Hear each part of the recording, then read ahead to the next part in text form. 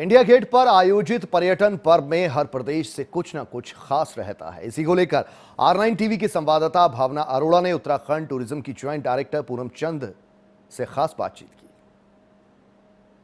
दिल्ली में एक बार फिर से पर्यटन पर्व की शुरुआत हो चुकी है और सबसे अहम बात यह है कि महात्मा गांधी की 150वीं जयंती के अवसर पर यह पर्यटन पर्व दिल्ली में एक बार फिर से मनाया जा रहा है। और जब हम दिल्ली की बात करते हैं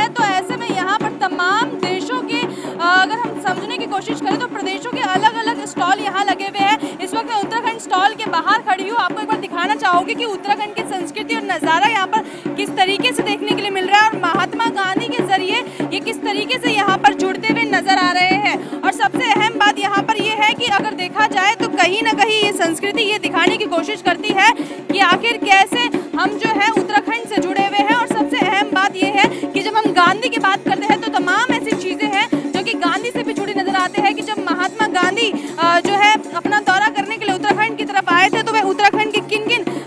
लक्ष्यों से वो यहाँ जुड़े हुए थे। अंदर की तरफ़ हम चलते और दिखाने की कोशिश करते हैं और सीधा यहाँ के जो डायरेक्टर है, उनसे हम लोग बात करते हैं कि इस बार महात्मा गांधी की एक सौ जयंती पर क्या खास है। तो सीधा मैं उन्हीं के पास जाने वाली हूँ, पूनम जी के पास। तो चलिए उनके पास चलते और उनसे जानने की कोशिश करते हैं। पूनम जी, देखा जाए तो महात्मा गांधी जी की एक सौ जयंती है। ऐसे में यहाँ पर पर्यटन के तौर पर उत्तराखंड से आप क्या खास लेकर आए हैं? इस बार 150वीं जयंती के उपलक्ष्य में हम लोगों ने उत्तराखंड में महात्मा गांधी जहाँ जहाँ पर गए थे, उन जगहों को हमने दिखाया।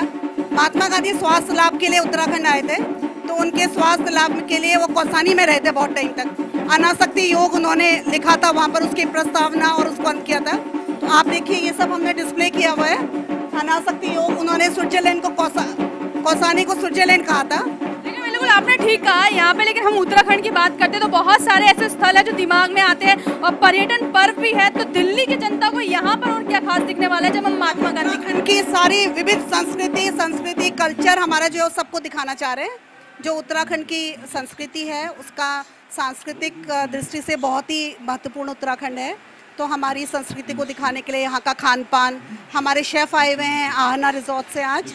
और उत्तराखंड के गढ़वाल मंडल कुमायूं मंडल, नवदानिया, इन्होंने फ़ूड स्टॉल लगाया हुआ है। तो अभी लाइव फ़ूड डिमोस्ट्रेशन है अभी 10 मिनट के बाद 4:30 से। दो तारीख से हज़ारों लोग यहाँ पर हमारे पास आ रहे हैं। हम लोग बहुत उत्साहित हैं कि इतने सारे पर्यटक हमारे पास आ रहे हैं।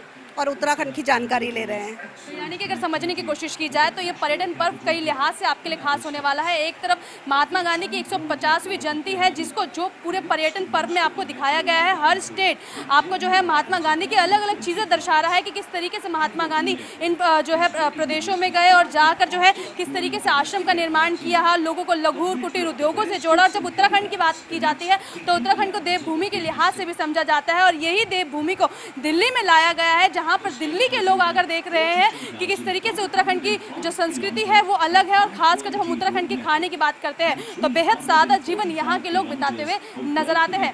कैमरा पर्सन अमित के साथ, मैं भावना आ नाइन टीवी, दिल्ली।